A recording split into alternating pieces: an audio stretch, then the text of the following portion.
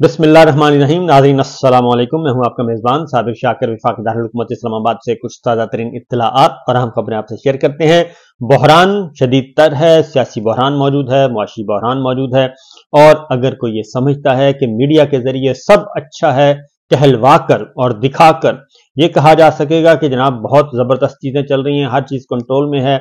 ना ही आयन पामाल हो रहा है, ना ही कानून टूट रहा है, ना ही अदालतें जेर अताब है, ना ही मीडिया पाबंद है तो ये मुमकिन नहीं है।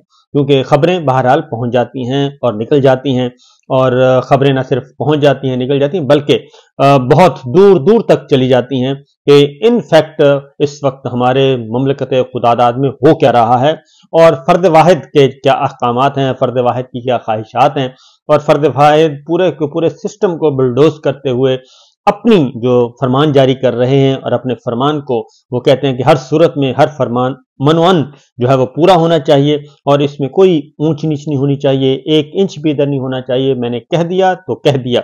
लिहाजा ये सब कुछ चल रहा है। इस वक्त बहुत ही तरुण खाना बहुत ही शदीद तरीन किस्म की लड़ाइयाँ चल रही हैं और वो इसलिए चल रही हैं कि चोरी शुदा मैंडेट है और डकैती शुदा मैंडेट है और हारे हुए लोग हैं और हारे हुए लोगों को हुक्मरान बनाना है। पहले उन पर सिर्फ़ फाइनेंशियल करप्शन का चार्ज था, माली बदनवानियों का चार्ज था, माली बदनवानी के मुकदमे थे मनी लॉन्ड्रिंग के इल्ज़ाम थे, लेकिन अब उन पर एक और इल्ज़ाम भी है और वो मॉरली भी करप्ट हैं और और चोरी शुदा इलेक्शन के नतीजे में वो हुक्मरान बनना चाहते हैं और मजिद है फर्द वाहिद कि इनको हुक्मरान बनाया जाए। इस वक्त सिचुएशन ये है, हुकूमत साजी का मामला है और कोई भी इस सियासी जनाजों को कंधा देने के लिए तैयार नहीं है और वो इसलिए तैयार नहीं है कि उनको पता है कि अगर ये सब कुछ किया गया तो कल को हमारा हाल भी इनसे भी बदतर होगा जो कि इस वक्त मुस्लिम लीग नून का हो चुका है एम क्यू का हो चुका है। और ना ही उनको उनकी बाहर इज़्ज़त है ना ही अंदर इज़्ज़त है। और अगर इनको बना भी दिया जाता है इनको आ, सारे के सारे को आ, ये गुलदस्ता तैयार कर लिया जाता है। गुलदस्ता तो नहीं कहना चाहिए गुलदस्ता तो बहुत अच्छा होता है खुशबू आती है सब कुछ होता है। इस सारे मलबे को इकट्ठा भी कर लिया जाता है और इस सारे मलबे को इकट्ठा करके एक हुकूमत बना भी दी जाती है। तो आप जरा तस्वुर करें कि इनकी दूसरी दुनिया में बैरूनी दुनिया में इज़्ज़त क्या होगी। ये अमेरिका में जाएँगे, बरतानिया में जाएँगे, यूरोप में जाएँगे, जर्मनी में जाएँगे, फ्रांस में जाएँगे चाइना के सामने जाएँगे, रशिया के सामने जाएँगे, इंडिया के सामने जाएँगे, ये इनकी हैसियत क्या होगी? इनके पीछे आप देख लें कि क्या है कि इस वक्त जो कुछ चल रहा है। किसको नहीं पता दुनिया में वो कौन सा मुल्क है या दुनिया में वो कौन सा मीडिया हाउस है, जिसको ये नहीं पता कि ये दो नंबरी तरीके से दो नंबर इंतखब हुआ चोरी शुदा हुआ और उसके नतीजे में आए हैं। ये हुक्मरान जब कल को पाकिस्तान की नुमाइंदगी करने के लिए मुख्तलिफ़ इंटरनेशनल फोरम पे जाएँगे और इंटरनेशनल मीडिया का सामना करेंगे तो वो किस मुँह से करेंगे? इनको खुद को भी एहसास होना चाहिए, कुछ थोड़ी बहुत शर्म आ जानी चाहिए और खुद ही कहना चाहिए कि नहीं जनाब, ये हमारा मैंडेट नहीं है।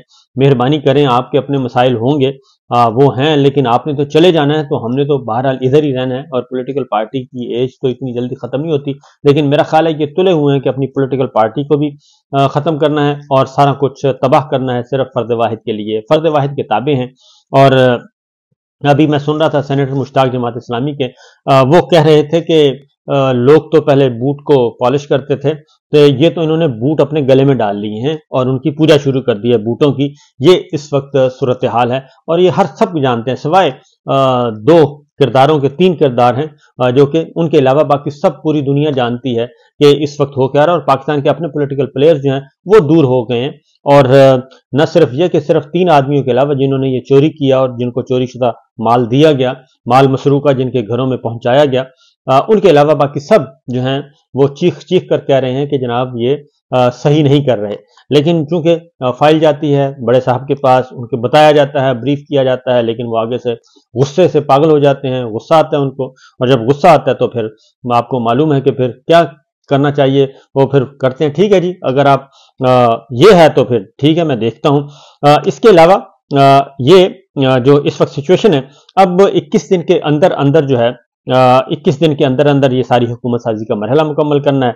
लेकिन मसला है कि सारे के सारा इलेक्शन जो है वो चोरी शुदा है और इलेक्शन कमीशन ऑफ़ पाकिस्तान बहरहाल बहुत ज़्यादा सर्व कर रहा है, दिन रात एक किए हुए और वो कोई भी नोटिफिकेशन जो है मुस्लिम लीग नवाज़ की कामयाबी का नोटिफिकेशन उसने कोई नहीं रोका, वो मुसलसल कर रहा है। इस वक्त जो कामयाबी के नोटिशन नोटिफिकेशन अब तक जारी हुए हैं।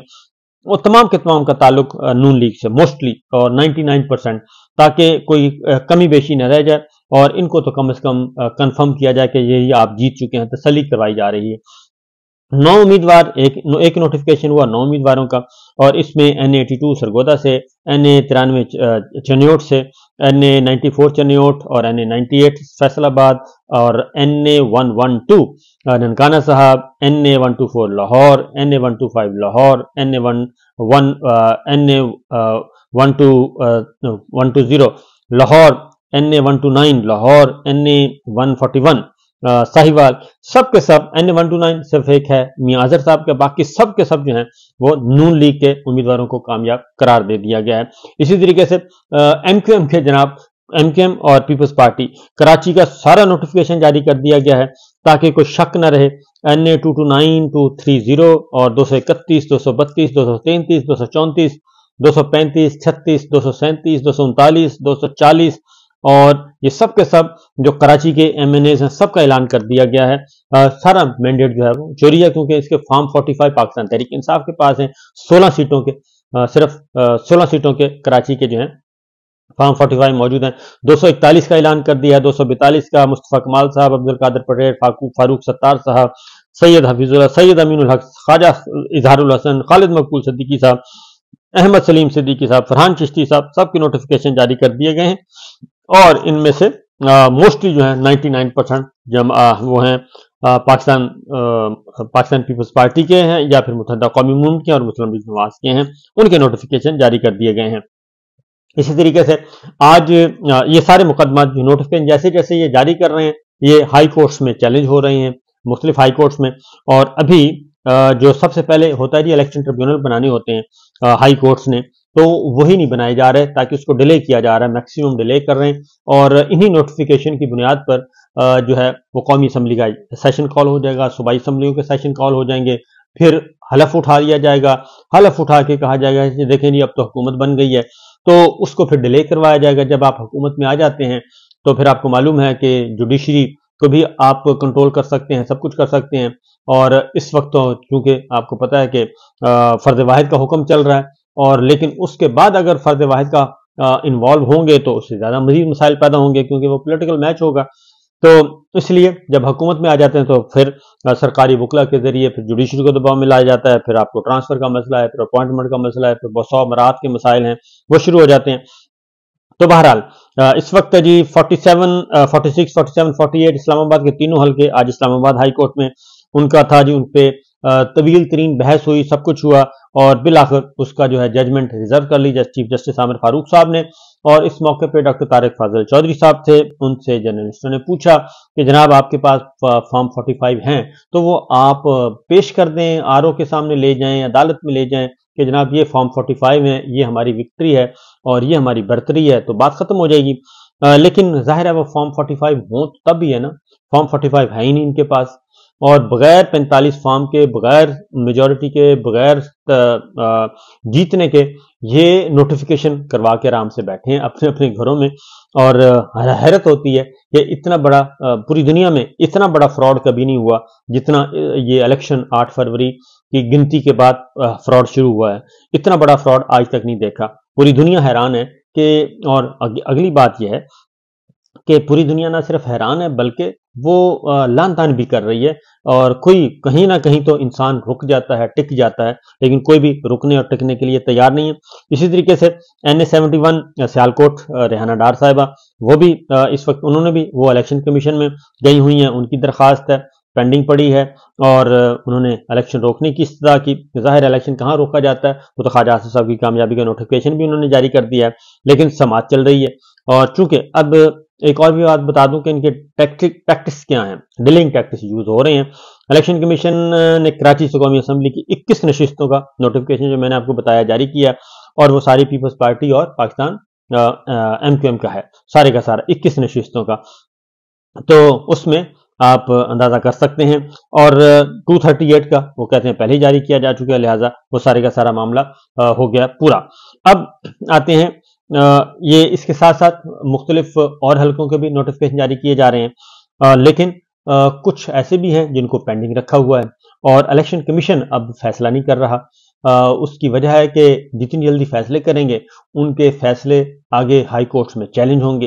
हाई कोर्ट्स में चैलेंज होंगे तो वहाँ पे दूध का दूध और पानी का पानी हो जाएगा क्योंकि चीफ इलेक्शन कमीशनर और उनके जो चार अरकान हैं वो तो अब वहाँ पे नहीं होंगे, इनका सुख तो नहीं होगा। और ये वैसे भी अब कुछ अरसे के बाद ये अपने अपने घरों को चले जाएँगे। ये सारा कारनामा सर अंजाम देने के बाद जो एक फ्रॉड इलेक्शन करवाया है तो लिहाजा ये गेम चल रही है गेम ऑन है।